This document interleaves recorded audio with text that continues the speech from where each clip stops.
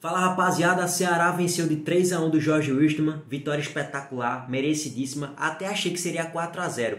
Quando se encerrou o segundo tempo, eu falei: se espelhar o que foi do primeiro tempo para o segundo, vai ser 4 5 a 0 sem muitas dificuldades. Até porque no primeiro tempo, o Jorge Wilstermann sequer deu única finalização no gol, não chutou nenhuma bola na meta do goleiro Richard.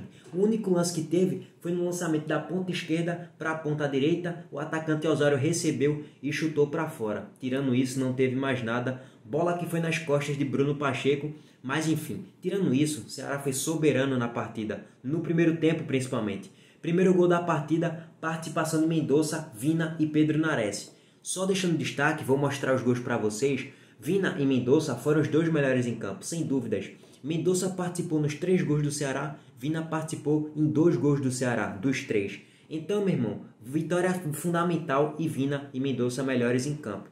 Primeiro gol, Mendonça vai na linha de fundo, na origem da jogada. Ele vai na linha de fundo e toca para Vina. Vina recebe a bola e tromba com o zagueiro. A bola sobra para Pedro Nares. Pedro Nares finaliza, a bola bate na trave e entra 1 a 0 Vozão no Castelão. Até rimou, né, rapaziada? Bom, o Ceará já tinha ameaçado com Bruno Pacheco, já tinha ameaçado com Vina antes, chutou o goleiro, fez uma boa defesa ali no canto.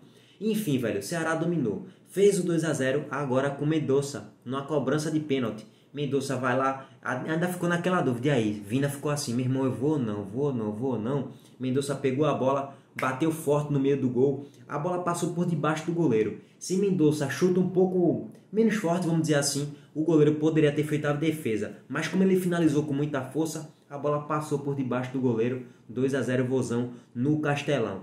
Bom, só não teve 3 a 0 e 4 a 0 porque o Ceará ainda desperdiçou algumas chances. Vina, por exemplo, no finalzinho do primeiro tempo, teve um lance que quase que ele fazia. Não foi gol perdido, mas teve um lançamento da ponta direita e Vina desviou de carrinho, o goleiro fez uma boa defesa. Primeiro tempo, 10 finalizações do Ceará contra duas do Jorge Wilstermann, e dessas duas, nenhuma foi no gol. O Ceará finalizou seis vezes no primeiro tempo na meta do goleiro do Jorge Wilstermann. Virou o segundo tempo e aí novamente eu achei, oxe, vai ser 3, 4 a 0 até 5 facilmente. Mendonça jogando muito, Vina também jogando uma boa partida. Só que aí o Ceará meio que desligou, acho que achou que já estava ganho o jogo. E aí o Jorge Wilstermann foi para cima, Patito Rodrigues, é, meu irmão, incomodou demais a defesa do Ceará. Patito Rodrigues sofre o pênalti, quem bate é Osório, fazendo o gol de 2 a 1 diminuindo a, a partida, porque Patito Rodrigues faz uma boa jogada, sofre o pênalti. Quem faz o pênalti em Patito Rodrigues é Mendonça. O único lance negativo de Mendonça na partida foi esse pênalti que ele fez em Patito Rodrigues. E realmente, na minha opinião, foi pênalti. Osório foi lá, bateu no ângulo, sem chances para o goleiro Richard. Chance zero, velho. No ângulo, cobrança perfeita. Beleza, tem um 2 a 1 O Ceará meio que sentiu um pouco o impacto inicial desse gol, de, desse gol que diminuiu o placar. E aí o Jorge Westman continuou indo para cima Teve até uma jogada de Patito Rodrigues que ele dribla Charles, dribla o jogador do Ceará, aí ele dribla Charles, só que Charles ele faz a recomposição muito boa. Porque se ele realmente passa por Charles por completo, o gol provavelmente sairia, ele tocaria para trás e o Jorge Westman poderia empatar a partida. Esses basicamente foram os lances mais perigosos do Jorge Westman no jogo.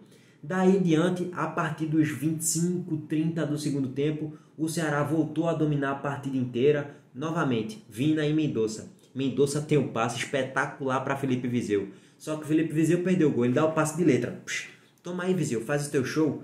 Vizeu chutou em cima do goleiro.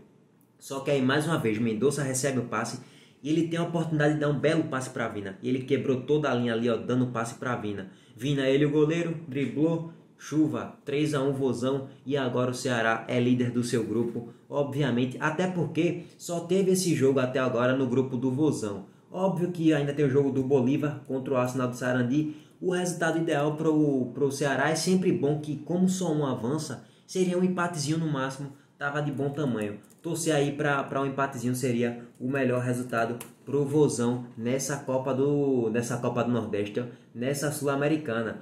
Enfim, rapaziada, basicamente os destaques são esses. Eu só tô conferindo se já teve jogo ou não. É, enfim, rapaziada, os destaques de pós-jogo são esses. Ó, ainda não teve jogo do Bolívar contra o Arsenal de Sarandi. Beleza? Deixa o teu like se gostou. Eu deixei aí todos os gols para vocês. Fiz minha resenha pós-jogo. Ceará mereceu vencer. Você tá feliz aí que é do Vozão. Então fortalece a like inscrição, sino. Tamo junto. Abraço também a todos. Valeu.